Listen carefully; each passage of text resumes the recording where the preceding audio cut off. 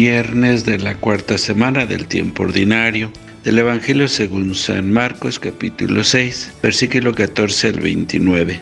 En aquel tiempo, como la fama de Jesús se había extendido, el rey Herodes oyó hablar de él. Unos decían, Juan Bautista ha resucitado, y por eso los poderes actúan en él. Otros decían, es Elías. Otros, es un profeta como los antiguos. Herodes al oírlo decía, es Juan a quien yo decapité, que ha resucitado. Es que Herodes había mandado prender a Juan y lo había metido en la cárcel encadenado. El motivo era que Herodes se había casado con Herodías, mujer de su hermano Filip, y Juan le decía que no le era lícito tener la mujer de su hermano. Herodías aborrecía a Juan y quería quitarlo de en medio. No acababa de conseguirlo porque Herodes respetaba a Juan, sabiendo que era un hombre honrado y santo, y lo defendía. Cuando lo escuchaba, quedaba desconcertado y lo escuchaba con gusto. La ocasión llegó cuando Herodes, por sus cumpleaños, dio un banquete a sus magnates, a sus oficiales y a la gente principal de Galilea. La hija de Herodías entró y danzó, gustando mucho a Herodes y a los convidados. El rey le dijo a la joven, pídeme lo que quieras, que yo te lo doy. Y le juró, te daré lo que me pidas, aunque sea la mitad de mi reino. Ella salió a preguntarle a su madre, ¿qué le pido? La madre le contestó, la cabeza de Juan el Bautista. Entró ella enseguida a toda prisa, se acercó al rey y le pidió, quiero que ahora mismo me des en una bandeja la cabeza de Juan el Bautista. El rey se puso muy triste, pero por el juramento y los convidados no quiso desairarla.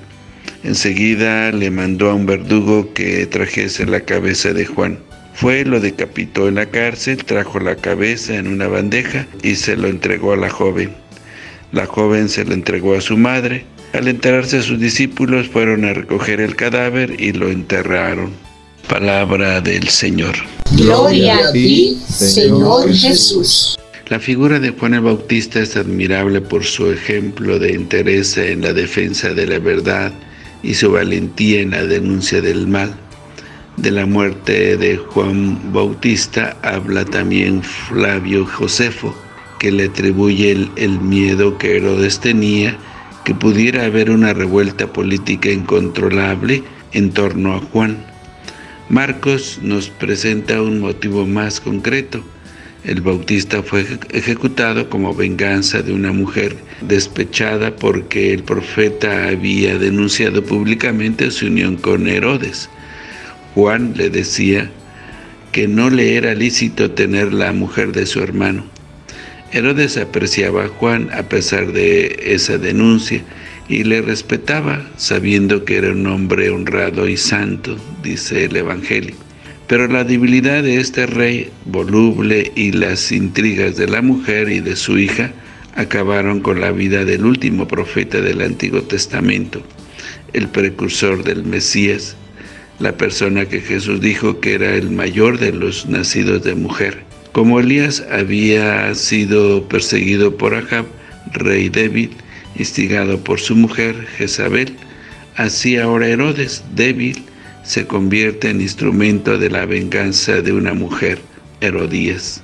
De Juan aprendemos sobre todo su resiedumbre de carácter y, y, la coherencia de su vida con lo que predicaba. El Bautista había ido siempre con la verdad por delante en su predicación al pueblo, a los fariseos, a los publicanos, a los soldados. Ahora está en la cárcel por lo mismo, preparó el camino del Mesías, Jesús, predicó incansablemente y con brío la conversión, mostró claramente al Mesías cuando apareció. No quiso usurpar ningún papel que le correspondía. Decía, Él tiene que crecer y yo disminuir. Yo no soy digno de desatarle las sandalias. Cuando fue el caso, denunció con valentía el mal, cosa que cuando afecta a las personas poderosas suele tener fatales consecuencias. Un falso profeta que dice lo que halaga los oídos de las personas tiene asegurado su carrera. Un verdadero profeta lo que tienen asegurada es la persecución y frecuentemente la muerte. Tanto si su palabra profética apunta a la justicia social como la ética de las costumbres, ¿cuántos mártires siguen habiendo en la historia? Tal vez nosotros no llegaremos a estas amenazas de muerte, pero sí somos invitados a seguir dando un testimonio coherente y profético, anunciar la buena noticia de la salvación con nuestras palabras y con nuestra vida. Habrá ocasiones en que también tendremos que denunciar el mal ahí donde existe. Lo haremos con palabras valientes, pero sobre todo con una vida coherente. Que el Señor los bendiga.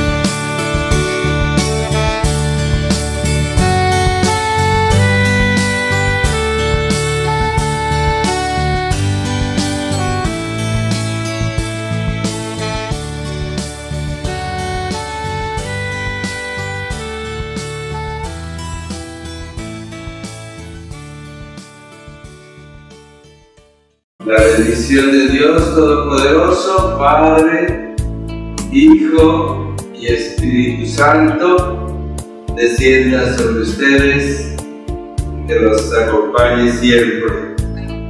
Que el Señor los bendiga. Si te gustó este video y deseas seguir recibiendo el Evangelio, misa en vivo, oraciones y muchas reflexiones más, Ayúdanos a seguir creciendo. Suscríbete a este canal de YouTube. Activa la campana de notificaciones. Deja tu comentario. Dale me gusta. Y compártelo con todos tus seres queridos. Que el Señor te bendiga a ti y a toda tu familia. Bendiciones.